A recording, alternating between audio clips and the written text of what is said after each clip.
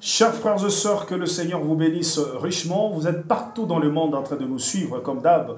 Ça a toujours vraiment été un plaisir renouvelé de nous rencontrer dans notre forum, votre forum, le gène du message. Alors, sans plus tarder, comme vous pouvez voir, ce, notre invité aujourd'hui, le pasteur Paul Charit, pasteur de l'église Hosanna Tabernacle de Lubumbashi. Alors, il est parmi les pasteurs qui s'opposent au fait de payer la dot. Alors, nous allons voir aujourd'hui, c'est sur base de quoi, par rapport à quoi il est contre le paiement de la dot. Alors, il est l'invité du Forum JM. Nous disons d'abord bonjour à lui et bienvenue, pasteur Paul Charit. Bonjour frère merci. Et comment vous allez? Nous allons très bien par la grâce de Dieu. C'est la première fois de vous recevoir sur notre plateau du Forum JM. Oui, c'est la sont première vos impressions fois. pour le Forum? Nous apprécions le travail que vous faites dans le cadre d'informer Oui. les enfants de Dieu de ce qui se passe. C'est un travail d'un journaliste, surtout que c'est un journaliste euh, chrétien Oui. du message. Et deuxièmement, la pertinence de votre euh, rubrique Wamba Ubala. Oui, oui. Euh, c'est aussi très bon. Euh, ça enlève beaucoup de confusion dans la tête des, des gens et ça recadre aussi ceux qui font des déclarations sans citation. Donc nous apprécions le travail que vous faites Oui. euh, à partir du moment où ça n'amène pas les enfants de Dieu dans les critiques et dans autre chose et que ça les garde dans la parole de Dieu. Ok. Alors, toujours quelques questions curiosité avant de parler avec lui. Nous rappelons, il est contre euh, le fait de, de payer la dot. Alors, il va nous dire ce, par rapport à quoi, comme il a dit, il aime le forum parce qu'ici c'est Wamba ou Bala. Vous dites et vous lisez. Alors, je ne sais pas, peut-être là quelques situations qu'il va nous donner aujourd'hui contre le, le fait de payer la dot. Mais bien avant tout, nous nageons toujours dans quelques questions de curiosité. Vous êtes euh, pasteur de l'église Hosanna Tabernacle, comme nous l'avons dit dans l'introduction. Qui est votre pasteur? Oui, je suis pasteur de Hosanna Tabernacle euh, de Lubumbashi, mais avant cela, j'ai euh, évolué à Likasi. Oui. Ah, j'ai connu plusieurs pasteurs. Euh, le premier pasteur, c'était le pasteur Moukadi. Et, euh, non, il est toujours là. Il est le doyen, je crois, de Likasi. Ok. Oui. Parce que je parle Moukadi, il y a aussi Moukadi qui est décédé, un ancien comme ça. Non, je parle de Moukadi de ok. Après lui, je suis allé à Agapao. Oui. Euh, et là, le pasteur, c'était pasteur Roger Mbouika Chala. Quand il est décédé en 2010, nous sommes restés pendant quelques mois seulement avec le pasteur euh, euh, Kalonji Moudjinigal Le Feu, qui, nous a laissés. Et après lui, c'était le pasteur Anakle Mbunda, qui a été notre pasteur pendant, euh, pendant beaucoup d'années, jusqu'à ce que j'avais quitté l'ICASI en 2015, quand j'ai rejoint Lubumbashi. Naturellement, j'avais choisi euh, le pasteur Mbunda comme pasteur à El Rori Tabernacle. Et jusqu'à ce que en 2020, quand le Seigneur m'a dit de commencer l'église, c'est pasteur Mbunda qui était mon pasteur. Et après, euh, quand j'ai commencé l'église, euh, j'ai été ordonné par le pasteur Marcel Mwamba de Grâce étonnante. Oui, c'est lui qui m'avait ordonné. Dire, vous avez plusieurs pasteurs. Voilà, donc euh, c'est tout à fait normal que l'on connaisse un parcours Mhm. comme celui-là et que euh, l'on puisse avoir autant de, de- des hommes de Dieu sur ce parcours. C'est tout à fait normal. Vous n'avez pas un pasteur, vous avez plusieurs pasteurs. Oui, nous avons eu plusieurs pasteurs, comme je, l'ai- je viens de le dire ici qu'on a eu plusieurs pasteurs. Mais avant, de, donc, le moment où je quitte euh, donc, euh, l'église El Roi, j'avais parlé au pasteur Anaclé que Dieu m'a dit de pouvoir commencer une église deux mois avant. Voilà. Avec, euh, dans l'église de Deux mois. Euh, non, non. La première prédication que j'ai prêchée devant les gens dans une église, c'était en 2006 à Likasi. C'était, euh, ce n'était pas euh, à Dieu vous a appelé au ministère quand? Vous étiez, Quand vous étiez dans quelle église? Donc, vous étiez sur- Lorsque Dieu m'a, lorsque Dieu m'a appelé au ministère, euh, c'est depuis 2006. Et vous étiez... Euh, à l'époque, là, j'étais, j'ai, j'ai fréquenté Source d'eau vive de, de Pasteur Moukadi. C'était des secrets que je gardais à moi-même. Je ne le disais à personne. Et euh, j'avais prêché pour la première fois dans une église pentecôtiste, quoique allant au message. C'est comme ça que j'avais commencé. Et, mais je ne croyais pas que j'avais un ministère. Depuis toutes ces années-là, je ne comprenais pas le ministère et je ne croyais pas quoi que je pouvais prêcher. en, allant, en allant tout droit au but, alors- qui, qui, qui- qui vous encadre dans le ministère? Euh, J'ai eu beaucoup de pasteurs qui m'ont encadré dans le ministère. Vous avez plusieurs pasteurs. Ah, J'ai eu beaucoup de pasteurs qui m'ont encadré dans le ministère. On apprend toujours, hein, de ce- celui-ci, de celui-là, on apprend toujours. Donc, il n'y a pas aujourd'hui un pasteur qui peut se lever pour dire que non, c'est moi son unique pasteur. Non, non, c'est pas, c'est pas possible. Donc, j'ai connu un parcours qui a fait que j'ai eu de celui-ci quelque chose, de celui-là quelque chose, et ça, ça a fait de nous ce que nous sommes aujourd'hui. Et c'est combien de temps que vous êtes euh, dans le ministère? Combien d'années déjà? Donc, je peux dire que euh, j'ai accepté euh, le ministère à partir de 2010-2011. C'est alors que j'ai compris qu'il fallait que je puisse servir Dieu, mais de manière active. C'était en 2014. 2014. Voilà. Votre église Hosanna Tabernacle, ça fait déjà combien d'années Maintenant, Hosanna Tabernacle avait jour en 2020, euh, le 16 août 2020. C'est là qu'on a commencé euh, cette église-là d'Hosanna Tabernacle. Ok. Voilà. Si on peut retenir euh, l'exercice du ministère, Donc, j'ai prêché dans beaucoup d'endroits avant de commencer l'église. on peut retenir combien d'années? Et si je peux prendre les années de, euh, où j'ai tâtonné dans le ministère, donc depuis 2006 jusqu'à aujourd'hui, donc ça fait pas mal d'années qu'on est dans le domaine du ministère. Ok, ok. Ok, merci, merci beaucoup. Pasteur euh, Paul Charit, comme nous l'avons dit, pasteur de l'église Hosanna Tabernacle à Lubumbashi, comment évolue aussi cette église? Oui, l'église évolue bien. Et ça se trouve où C'est au niveau des Jécamines, euh, sur l'arrêt Kabolé là. Ah, C'est là que l'église se trouve, sur l'avenue euh, Kabolé, là, exactement, numéro 30. Numéro 30. Ouais, c'est là. Alors, merci. Alors, vous venez d'écouter euh, sur le pasteur l'introduction pour essayer un peu de connaître qui est le pasteur Paul Le Charit. C'était vraiment très nécessaire de vous poser ce quelques questions. Alors là, nous parlons directement euh, concernant euh, la dot, parce que vous êtes parmi euh, de pasteurs qui s'opposent au fait de payer la dot. Alors, nous voulons d'abord savoir, euh, qu'entendez-vous d'abord par la dot, avant que vous puissiez nous donner euh, peut-être quelques références bibliques ou citations du prophète contre la dot, parce que vous êtes contre le fait de payer la dot.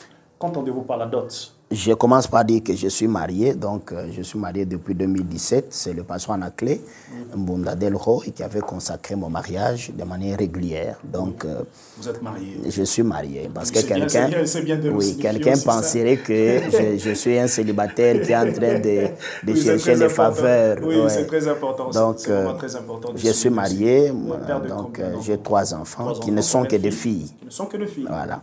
Alors, maintenant, c'est quoi la dot? D'après le dictionnaire, la dot se définit comme euh, quelque chose, hein, que ce soit en nature ou en espèce, que l'homme donne à la famille, à la femme ou à la famille de la femme, et que la femme aussi donne à l'homme ou à la famille de l'homme. C'est comme ça que le dictionnaire Oui. définit la dot. Et il y a même plusieurs définitions de la dot d'après le dictionnaire. Maintenant, d'après la loi, euh, la loi, si je peux, euh, je, crois que votre émission est suivie par euh, les, croyants de plusieurs pays. hein. Ils ne sont pas seulement de la République du Congo.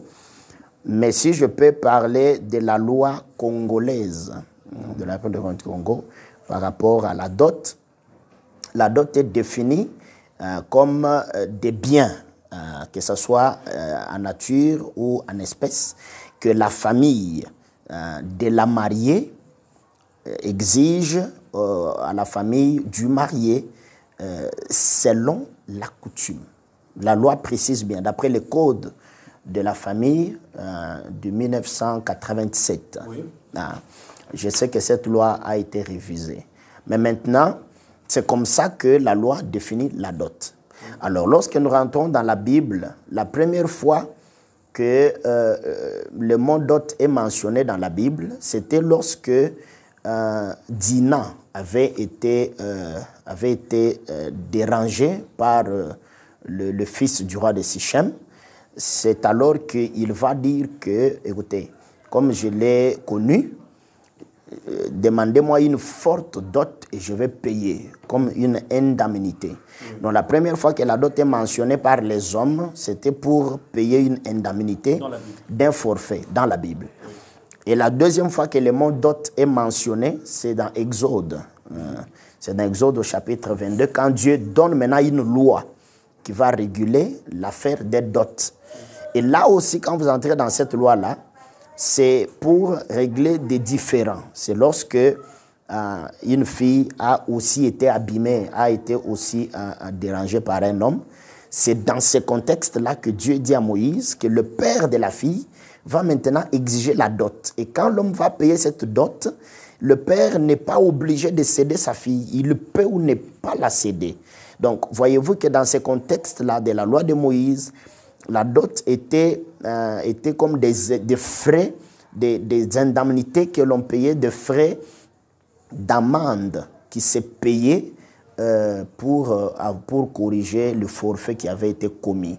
Hein, c'est dans ce contexte-là hein, que Dieu a parlé de la dot dans le livre d'Exode. Maintenant, par la suite, la dot est mentionnée dans beaucoup d'endroits. Il y a Saül qui va aussi exiger à David la dot pour, euh, pour sa fille. Hein, je crois que c'était sa fille Michal. Il dit que, bon, David devra m'amener 100 prépuces des Philistins en, en, échange de ma fille. Et la Bible montre que Saoul avait demandé ces prépuces, ces 100 prépuces pour piéger David qu'il voulait faire mourir.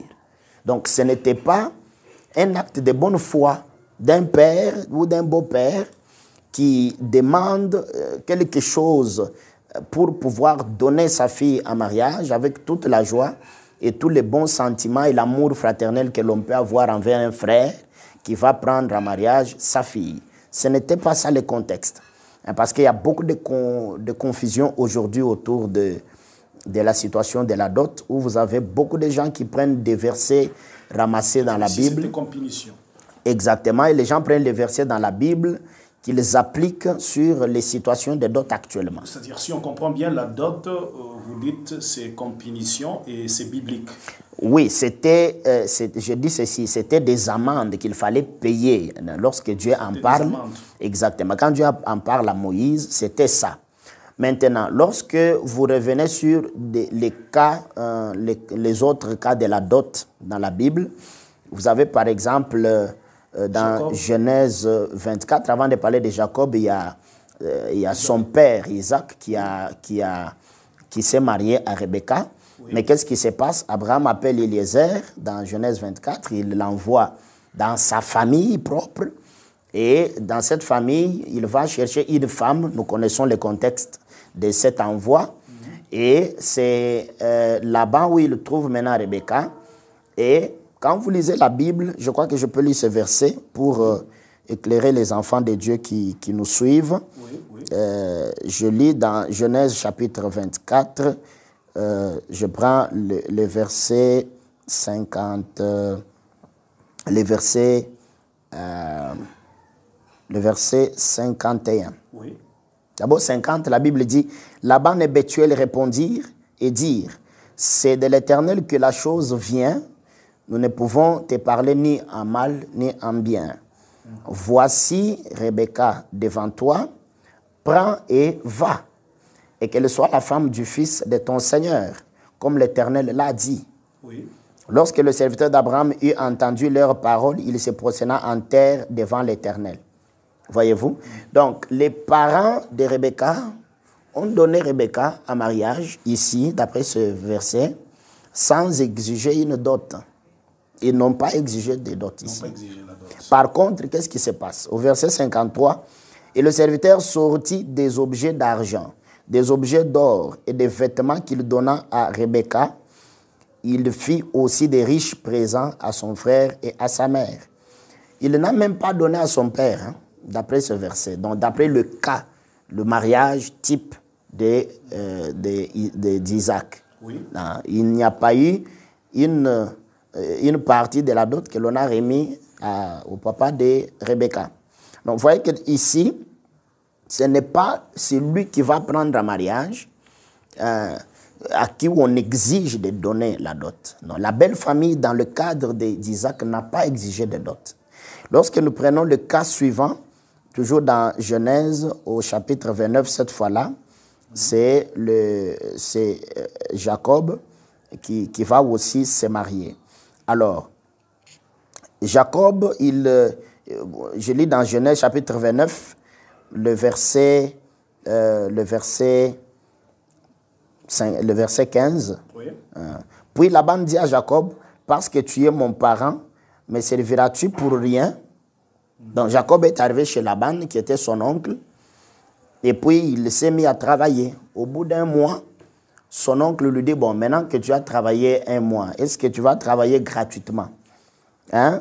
Me, serviras-tu pour rien? Dis-moi quel sera ton salaire.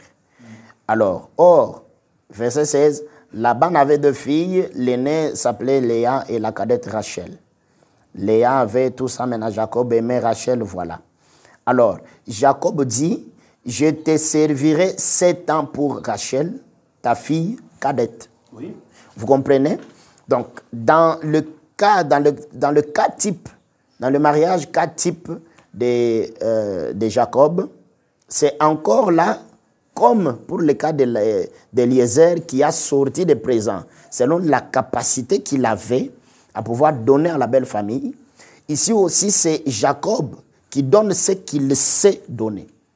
Prendre. euh, Donc, lui, il propose sept ans de travail pour pouvoir prendre euh, Rachel en mariage. C'est lui qui propose ça.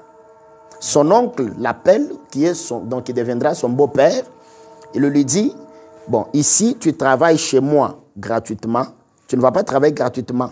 Tu fais un travail, ainsi de suite, euh, les champs, bergers, tout ça. Mais quel sera ton salaire? Alors, c'est comme ça que Jacob va proposer ce que lui est capable de donner. Ce n'est pas ce qu'on voit aujourd'hui. Donc lui, il dit, je suis capable de travailler pendant sept ans. Donc s'il disait, je travaille pendant cinq mois, vous me donnez Rachel ou une année ou dix ans, hein, ça allait se faire comme cela était entendu avec son beau-père. Merci.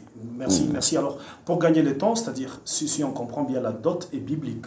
Oui, c'est biblique dans un contexte où c'est l'homme lui-même qui va donner ce qu'il est à mesure de donner d'après le cas de Isaac et, euh, et de Jacob. Alors, pourquoi vous êtes contre euh, le, le- le fait de payer la dot alors que la dot est biblique?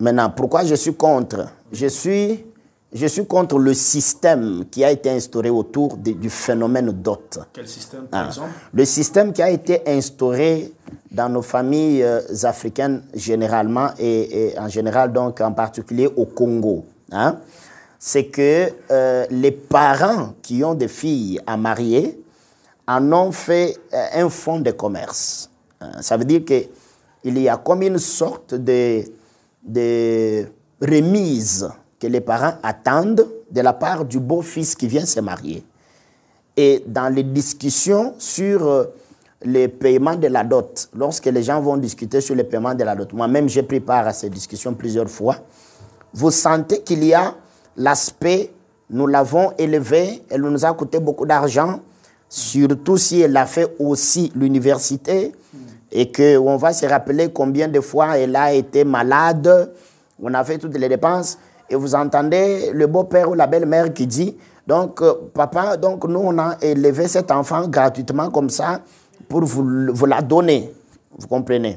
Alors, maintenant, lorsque vous ramenez cette philosophie-là à, à la parole de Dieu, vous voyez que ça contredit les principes du mariage et de la dot. Ça ne devrait pas, ça ne devrait pas se passer de cette façon-là. Ça veut dire que les parents ne devraient pas recevoir euh, la dot comme une sorte de contrepartie, comme un salaire, comme une remise de toutes les dépenses qu'ils ont pu faire pour élever la fille qui aujourd'hui est euh, en, en âge d'être prise en mariage. Donc, vous avez même des parents qui demandent des sommes et des montants qui font que le frère qui veut se marier fuit. Il va tout simplement fuir parce qu'il ne sait pas comment il peut payer cette situation-là. Et, et- et comme conséquence, vous avez beaucoup trop de cas de célibat comme ça prolongés très volontairement par des, des parents et, et parce que le frère qui vient se marier n'a pas les capacités de pouvoir payer pour prendre cette femme-là mariage. Et entre autres, les conséquences, il y a aussi des grossesses. hein, des- vous avez un jeune homme qui va maintenant engrosser une jeune fille à cause du fait que bon, les parents ont exagéré dans la demande de la dot. Alors, Maintenant, c'est comme ça que moi, euh, en tant que pasteur, dans mon église, je conseille les parents de pouvoir utiliser de beaucoup de sagesse dans l'affaire de la dot. D'après mes convictions personnelles, je ne crois pas qu'un chrétien doit exiger la dot pour donner sa fille en mariage. Je ne crois pas. Pourquoi? Pourquoi? Parce que c'est devenu aujourd'hui un fonds de commerce. Frère Branham, quand il, euh, il est arrivé en Afrique du Sud, je crois que c'est la seule fois où il évoque la question de la dot. Je peux lire la citation. Vous, vous- lire la citation Je peux, je peux lire la citation du prophète. Quand il évoque la question de la dot, Oui. c'est euh, dans la prédication le temps de la fin. Le temps de la fin, c'est prêché euh, en 1954, le 3 mars. Le 3 mars 1954, le temps de la fin, Frère Branham, euh, au paragraphe 17 exactement, c'est là où Frère Branham a évoqué euh, le cas de, de la dot. Euh, moi, je suis en 53. Oui, 54, euh, le, le, le 7 mars, le temps de la fin. Paragraphe 17, Frère Branham dit ceci. Maintenant, revenons à ceci. Ces païens, ils se maquillent et se mettent cela sur tout le corps. Ils fabriquent cela à partir de la boue. Ils parlent du maquillage. Est-ce que, il n'a pas terminé, ils font la manucure des cheveux, je ne sais comment vous appelez cela, des petites choses en bout, elles les mettent comme ceci et mettent des os à l'intérieur. Oh, l'usage des produits de beauté pour les femmes est une vieille pratique en Afrique. Il y a longtemps qu'ils pratiquaient cela. Et tout, Franam dit, ainsi, euh, de toutes les façons, ils se fendent les lèvres et tout. Ensuite, ils fabriquent ces boucles d'oreilles. Ils ont des boucles d'oreilles en permanence. Ils percent la chair et mettent continuellement des bouts de bois dedans et les anneaux pendaient comme cela, euh, comme cela de la chair. Là où leurs oreilles avaient été élargies. Franam dit, ce petit garçon était un zoulou. Leur nourriture, quand ils amènent avec eux leur dîner, ils ont un bœuf. Et ce bœuf, point, point, point, si un homme a des jumeaux et qu'il y a un homme, un garçon et une fille, il tuera le garçon et épargnera la fille parce qu'il peut obtenir un bœuf en échange contre la fille. Donc vous comprenez que ici c'est une affaire de vente. Franham continue, il dit, on peut acheter la fille à n'importe quel âge. Vous ne pouvez pas vivre avec elle comme femme jusqu'à ce qu'elle soit majeure. Néanmoins, vous l'achetez. Donc, la dot en Afrique, c'est un achat. On achète une femme. Ici, en Afrique du Sud. Les tribus de l'Afrique du Sud. C'est comme ça que je vais vous donner une petite anecdote. En, en 2013, lorsque j'étais encore à Gapao, à Likasi, mais maintenant je crois que l'église s'appelle Béoula Tabernacle, mais lorsque j'étais encore à Gapao, à Likasi, euh, en 2013, nous avions à l'époque reçu le pasteur euh, Roni de l'Afrique du Sud. Alors, j'étais avec lui, on parlait, il m'avait dit qu'il a deux églises en Afrique du Sud. On parlait, il me posait la question, il me dit, mais pourquoi vous n'êtes pas, pourquoi vous n'êtes pas encore marié? Alors moi, je lui ai dit que non, je n'ai pas l'argent de la dot en 2013. Je n'ai pas l'argent de la dot que l'on exige à la belle famille. Ah, il me regarde avec, avec stupéfaction. Il me dit, euh, l'argent de la dot, j'ai dit oui. La fille que tu veux épouser, est-ce que ses parents sont croyants du message? Je lui ai dit oui, oui, tous les deux parents sont croyants du message. Il me dit, mais c'est pas possible ça. Comment est-ce que les croyants du message peuvent exiger la dot? Il me dit, chez nous en Afrique du Sud, les familles qui exigent la dot sont les familles païennes. Ça veut dire des familles qui ne croient pas le message des frères Branham. Mais on ne peut pas exiger à un enfant de Dieu de donner quelque chose en échange d'une femme. Ça ne peut pas se faire. Ça, c'était Pasteur Roni de l'Afrique du Sud. J'ai son numéro, je peux vous le passer, vous pouvez l'appeler pour vérifier ce que je vous dis là. Et par la suite, je, je m'étais vraiment euh, mis à étudier la question, à l'analyser. Je sais que parmi ceux qui vont nous suivre, il y a beaucoup de jeunes gens aujourd'hui qui sont bloqués, qui sont empêchés de se marier parce qu'ils n'ont pas suffisamment de moyens pour ça. Il y a même dans l'acceptation du choix, hein, dans l'acceptation du choix de la fille. Donc quand la fille doit accepter un choix d'un homme qu'elle veut épouser, la famille veille à ce que ce soit un homme présentement qui a suffisamment de moyens. Il y a, il y a cet aspect-là.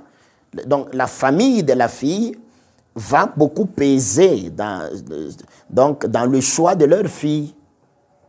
Et comme conséquence de cette influence-là, je connais personnellement une sœur, Alikassi là, qui aujourd'hui est complètement détruite. Pourquoi? Parce qu'elle avait fait un choix basé sur l'influence de sa famille biologique. On voulait un homme ah, qui, soit quand même financièrement euh, euh, stable.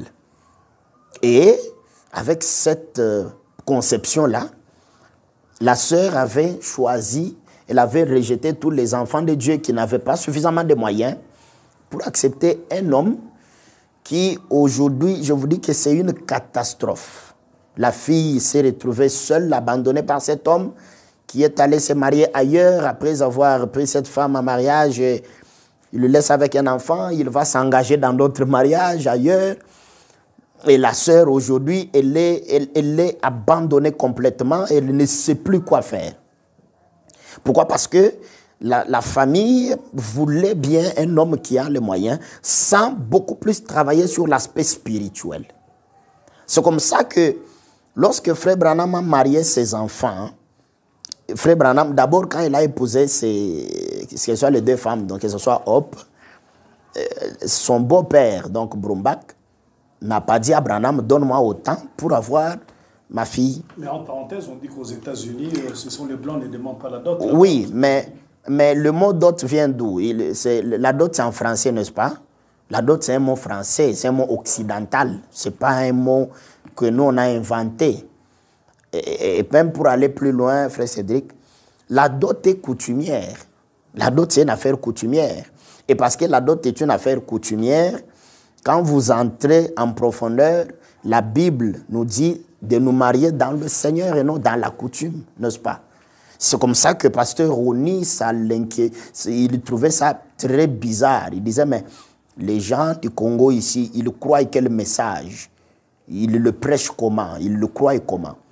Alors, la, dot est d'abord coutumière.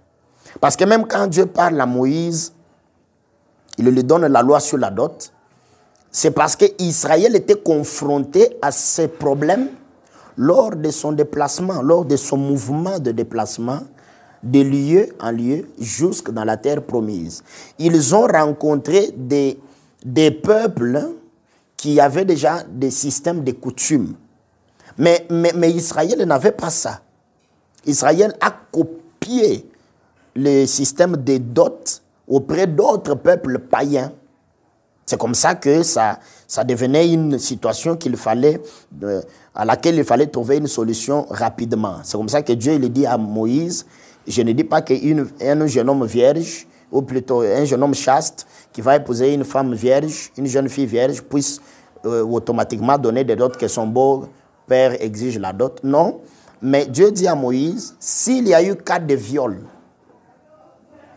s'il y a eu cas de viol, et qu'un jeune homme, il est fiancé à une fille, il va violer cette fille-là, dans ces cas-là précis, que le père de la fille dont on a violé exige la dot au jeune homme, et quand il va exiger la, la dot au jeune homme, cette dot devient une amende. Et puis Dieu précise, hein, il dit, ça ne fait pas dire que parce que le jeune homme a donné la dot, que le beau-père est obligé de donner sa fille. Je peux lire ça? Non, mais pour gagner du temps, bon. Je voulais lire ça rapidement, c'est dans Exode au chapitre, euh, Exode au chapitre 22, verset 16. Si déjà que le temps est déjà consommé. Voilà. Si un homme séduit une vierge qui n'est point fiancée et qu'il couche avec elle, il payera sa dot et la prendra pour femme. Si le père refuse de la lui accorder, il payera en argent la valeur de la dot des vierges. Donc ici, on est dans un contexte où quelqu'un a violé une fille. Ce n'est pas un cas de mariage régulier. C'est comme ça que moi je dis que les parents qui croient le message de Frère Branham puissent suivre le modèle du messager du temps de la fin. Frère Branham s'est marié à Hop, il n'a pas doté. Pas simplement parce que son beau-père n'a pas demandé la dot ou parce que les États-Unis n'exigent pas la dot.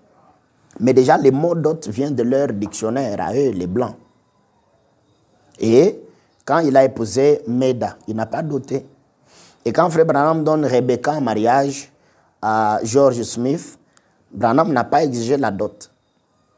On ne va pas dire que non, c'est américain, ici c'est congolais, ici c'est namibien, ici. Non, c'est pas ça. Ça n'a rien à voir. Le message de Frère Branham, c'est la parole de Dieu, quel que soit le pays. La vie même du prophète, c'est la parole. C'est-à-dire, ici, vous êtes en train de dire que le message est contre le paiement, c'est-à-dire n'appuie pas cette pratique-là de demander la dot. Frère Branham n'a pas fait un enseignement sur la dot, sur le paiement ou non de la dot. Il n'a pas fait un enseignement comme ça. Mais la citation que j'ai lue ici dans le temps de la fin, Frère Branham montre que la dot en Afrique du Sud, chez les Zoulous, c'était une, une vente et un achat mais il y a plusieurs aussi qui on paye la dot, c'est pas dans le cadre de vendre euh, sa, sa, sa, sa, fille.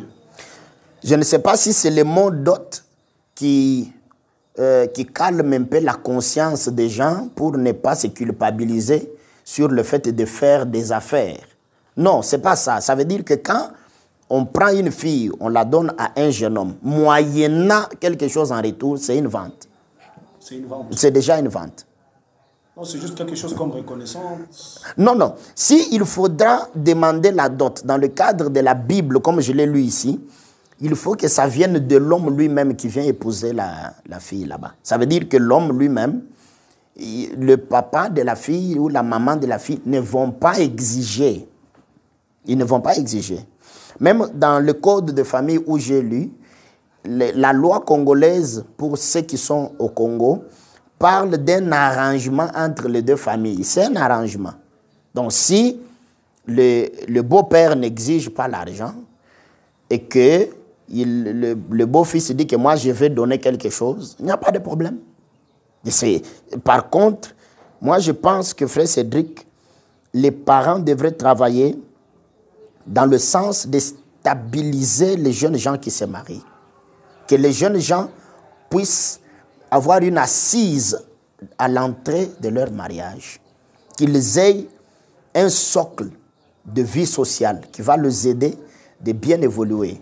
Vous, vous dites ici que le, le, en, au début, vous avez mentionné que le, le fait de demander euh, la dot, le paiement de la dot, ça fait traîner euh, beaucoup de frères dans le célibat. Exactement. Et, ben, si quelqu'un n'arrive pas à payer la dot, euh, ça d'abord, et comment il va prendre soin de sa femme?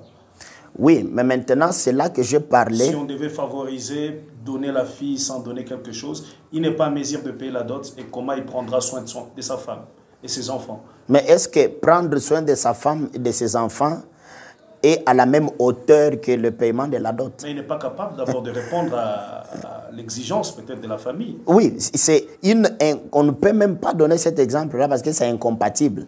C'est comme par exemple, vous dites à quelqu'un, écoutez, euh, comme vous êtes, en, vous n'êtes pas en mesure d'agir. Jacob a travaillé.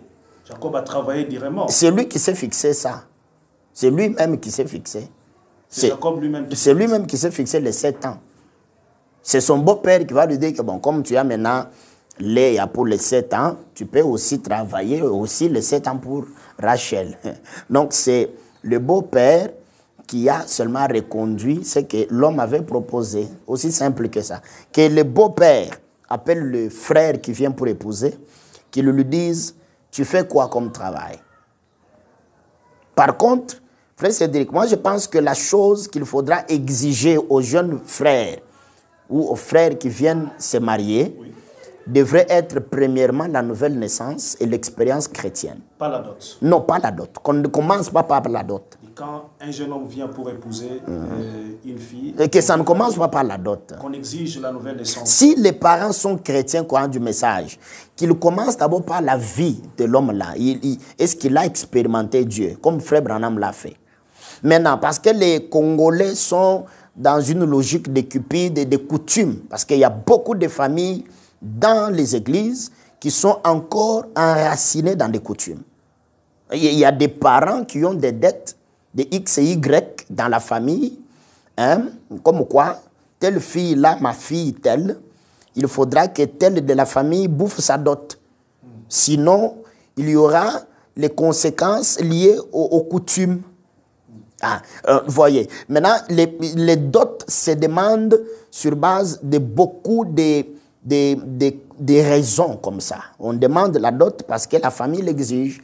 On demande la dot parce que euh, parce qu'on a une, une dette quelque part à régler. On demande la dot. Donc, il y a tout ça qui est, euh, qui est concocté autour de la dot. C'est comme ça que il faut premièrement appeler le frère qui vient, demander au frère, parler avec lui. Dans les questions-réponses sur le Saint-Esprit, frère Branham dit que si je prends cinq minutes avec une personne en train de parler avec elle, je peux détecter qu'elle a le Saint-Esprit ou pas. Pour un beau-père qui a déjà expérimenté Dieu, qui se met avec un jeune homme qui vient épouser chez lui, il peut découvrir qu'il a le Saint-Esprit ou il ne l'a pas. Ça, c'est un. Maintenant, parce que, parce que quelqu'un veut à tout prix qu'on donne quelque chose, même de symbolique, parce qu'il y, a- il y a aussi cette théorie-là, je ne suis pas toujours d'accord avec ça, même symbolique, je ne crois pas. Bon, parce que les gens ont soif de la dot. Dans ce cas que le beau-père demande au frère qui vient là, frère, tu fais quel travail? Tu viens épouser chez moi, tu fais quel travail? Ma fille va vivre comment? Elle va vivre de quoi? C'est là que Branham a dit à son beau-père que je vais travailler jusqu'à ce que mes mains puissent avoir des, des, plaies. Voilà la réponse d'un futur beau-fils responsable. Ce n'était pas que non, bon, comme tu as dit que tu vas travailler avec les mains et que tu n'as pas de grands diplômes et que tu ne travailles pas dans une grande entreprise, euh, bon, euh, très sagement, on ne va pas te donner notre fille. Non, ce n'était pas ça. Et ça ne devrait pas être comme ça. Qu'on demande au frère ce qu'il est à mesure de faire pour garder cette fille-là. Ensuite, si on veut la dot, qu'on lui demande ce qu'il peut amener à la belle famille. Si on vous donne cette fille, qu'est-ce que vous allez donner comme dot, par exemple Même si, même si euh, bon, euh, c'est une volonté permissive pour moi, si je dis ça. Permissive. Ouais. Ok, alors euh, vous, vous avez, euh, vous dites que depuis le début, quand on a commencé, vous dites que vous êtes marié, père de trois enfants. Vous avez, vous avez dit, vous avez que deux filles. Ouais. Est-ce que vous, vous allez donner vos filles, euh, vous allez donner vos filles euh, gr- gratuitement, disons, sans payer la dot, Frère Branham sans dit, demander, sans exiger la dot. Vous soyez sincère, pasteur Charit, on venait chez vous pour épouser Ouais. une de vos filles. Qu'est-ce que vous allez demander au beau-fils, disons? Vous n'allez pas l'obliger de, donner, de, de- de donner, de donner la dot? Frère Branham dit que l'homme, ce sont les principes. Ce qui fait de vous un homme, ce sont vos principes. Mais dans mes principes à moi, je ne peux pas demander quelque chose à mon beau-fils. D'abord, il va se jouer de moi. Il, ne va, il va me prendre pour qui? Si moi, je dois lui exiger de me donner, d'abord, il va me donner quoi? Donc, je ne peux pas demander l'argent à un fils de Dieu qui vient se marier chez moi. Je ne peux pas faire ça. C'est de l'arnaque. Vous allez juste euh, constater s'il a le Saint-Esprit. Je veux sérieusement parler avec lui. Je veux parler avec lui. Je veux parler avec lui, vérifier un certain nombre de choses chez lui. Et si je trouve que c'est un jeune homme sincère, mais qui manque euh, de tout, ou qui a suffisamment de difficultés comme ça dans la vie, mais je peux l'aider, non? Mais je peux lui trouver du travail, je peux l'aider. C'est ce que les parents devraient faire. Et ça faciliterait beaucoup de choses. Ça aiderait certains mariages aujourd'hui qui... Vous savez qu'il y a certaines personnes qui ont pris des filles à mariage après avoir beaucoup galéré et ça devient des règlements de comptes dans ces couples-là. La fille, elle devient chosifiée parce que les parents l'ont chosifiée. Dans la citation de Frère Branham, quand il parle d'une fille en échange d'une vache, c'est une chosification de la fille de Dieu.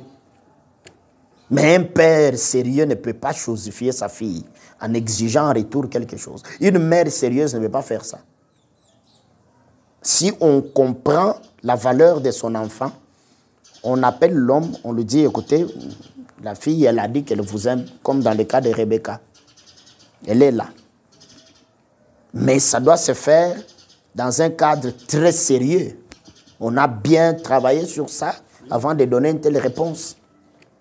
Parce que c'est une question de vie ou de mort. Il y a, je vous dis que frère Cédric, moi je suis pasteur, les gens souffrent hein, dans des familles là. Il y a beaucoup de réalités parce que la situation de la dot n'a pas été bien gérée.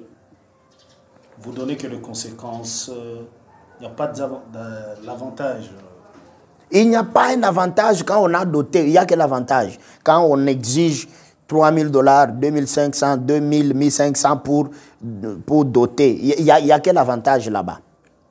Bon, il y a comme d'autres euh, tribus, en parenthèse, quand on donne la dot, euh, on paye la dot, la fille ne peut pas faire certaines choses parce qu'on a déjà donné la dot, sinon elle va mourir. C'est coutumier. C'est coutumier. Nous, on croit le message de Frère Branham. C'est vous qui nous dites ballon, non? Oui. Ah Oui, mais d'après le. Il n'y a pas une seule citation de Frère Branham qui dit qu'il faut doter. Je sais, je sais que beaucoup s'appuient sur la citation de Frère Branham quand il parle de, de Joseph ou de Billy Paul, à qui il avait acheté un vélo et puis il est allé jouer avec ça et puis il a cassé ça rapidement, il a négligé la chose. Branham, il vient, il dit que, voyez-vous, il, il a négligé la chose parce que ça ne l'a pas coûté de l'avoir. Il a eu ça gratuitement. Et dit, tout ce que vous obtenez gratuitement, vous ne comprendrez pas l'importance de cela. Oui, vous, vous voulez obtenir aussi la femme. Voyez-vous. Et puis, et puis il y a ceux qui prennent cette citation-là pour exiger la dot. Je suis très bien équilibré. hein. Maintenant, dans le contexte du mariage, hein, il n'y a pas, cet, cet exemple-là n'a pas d'application. Pourquoi? Parce que les, les deux personnes qui se marient là deviennent une seule chair. Donc, il n'y a pas ici le fait de faire comprendre l'importance, euh, donc euh, donner de l'importance à une femme parce qu'on l'a dotée, c'est alors qu'elle devient plus importante que quand on ne l'a pas dotée. Non, non, non, non. Par contre, Oui, lorsqu'on n'a pas exigé de dot. C'est là que l'on comprend pourquoi on a cette femme-là. On va la respecter. Mais beaucoup de gens, beaucoup de frères ne respectent pas leur femme parce qu'ils ont doté. Ils considèrent cette femme comme une marchandise. C'est des conséquences. Et Ce sont des conséquences terribles, ça. Donc, on- c'est une marchandise. Il y a même des belles familles, des beaux frères, des belles sœurs, qui viennent mater la fille dans son couple-là à cause du fait qu'on avait beaucoup souffert pour doter. Et donc, vous voyez, c'est énorme comme conséquence. Il y, a des Et- choses aussi, ça- ça- il y a aussi des paroles qui peuvent vous suivre parce que vous avez ouvert la porte aux dots. Disons, le grand-père a dit, il avait dit un mot quand on donnait la dot. Voilà. Ça peut Voilà. Il y a même, il y a, il y a même certains cas de stérilité qui sont dus au- à la mauvaise gestion de l'affaire dot. Non, nous, nous, nous avons affaire à des gens qui disent, qui croient, frère Branham, mais qui ne le croient pas vraiment. Ça veut dire qu'on peut croire Frère Branham jusqu'à un certain point. Mais il y a aussi euh, le fait là, vous ne donnez pas la dot. Aujourd'hui, euh, l'homme ici a des problèmes dans son mariage parce que euh, la femme, chez elle, on n'avait pas, on n'avait pas doté, on a pris la fille comme ça. Et selon la coutume, vous avez des problèmes. Mais c'est ça, les gens se marient selon la coutume, qui laissent la parole de Dieu tranquille, non? Comme les gens veulent se marier selon la coutume mais non dans le Seigneur. Parce qu'il faut se marier dans le Seigneur quand on est chrétien. Et dans le Seigneur, on n'exige pas de dot. Non, on n'exige pas de dot dans le Seigneur. Dans le Seigneur, on ne va pas vendre sa fille. Dans le Seigneur. Ok, merci beaucoup. Pasteur euh, Paul Charit, alors euh, notre temps déjà terminé. Alors qu'est-ce que vous pouvez dire euh, à, à, tous les parents qui sont en train de vous suivre en ces moments, qui exigent peut-être des dot plus élevées et concernant aussi qu'est-ce qu'on peut retenir concernant la dot Il y a des parents qui sont en train de vous suivre. Je demanderai aux parents qui nous suivent d'user de beaucoup de sagesse. De croyants du message les croyants du message de Frère Branham ne doivent pas demander la dot. Premièrement, parce que Frère Branham n'a jamais demandé la dot. Pas parce qu'il était. Branham n'a pas demandé la dot parce qu'il était américain. Branham n'a pas fait les choses à la manière américaine, mais parce que c'est un chrétien. Alors, si nous devons suivre le modèle du prophète, on ne devrait pas demander, donc exiger des dots à un enfant de Dieu. Ça, c'est d'une part. D'autre part, s'il y a euh, une petite volonté de, vouloir bénéficier quelque chose de, celui qui vient épouser chez vous là, vous n'exigez pas. N'exigez pas.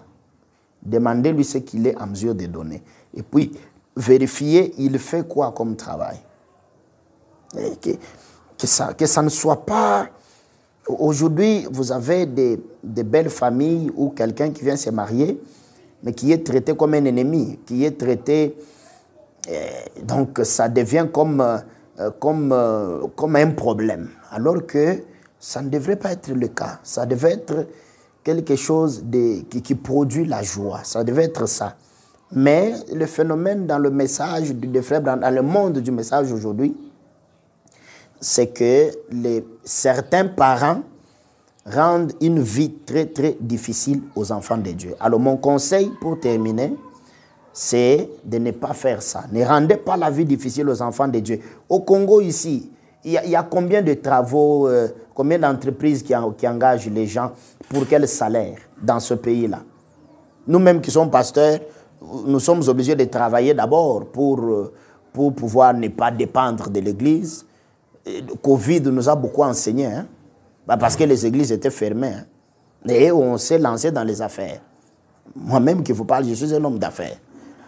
Pasteur, homme d'affaires, voilà. On s'est croisé avec vous en Dola.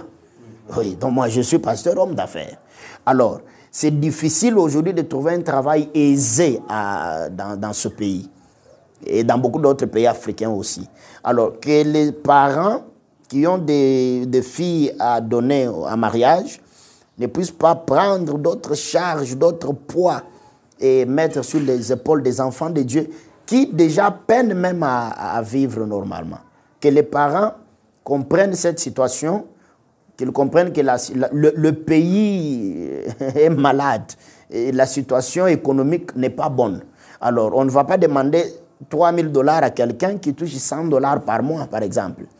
Et puis, s'il ne peut pas donner, ou parce qu'il a 100 dollars par mois, on va refuser gentiment avec sa fille. Mais si Dieu avait dit que c'est ça sa femme. Donc, que les parents croient d'abord Frère Branham, qu'ils vivent selon le message de Frère Branham, qu'ils suivent la conduite du Saint-Esprit, qu'ils n'exigent pas de dot, qu'ils laissent la responsabilité entre les mains de celui qui vient, euh, qui vient prendre la fille en mariage. C'est ça mon dernier conseil. Oui, c'est ça.